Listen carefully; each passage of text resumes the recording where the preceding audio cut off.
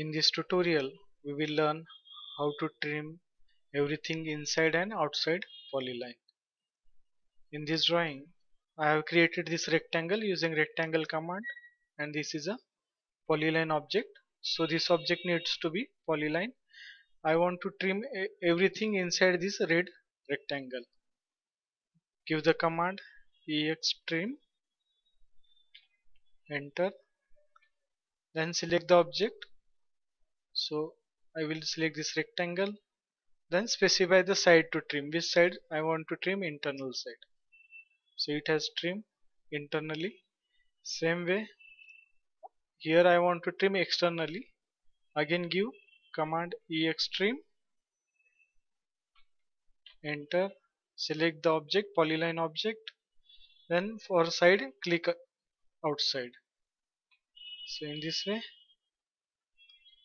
we have trimmed using ex extrim command internally and externally. So that's all. We will stop here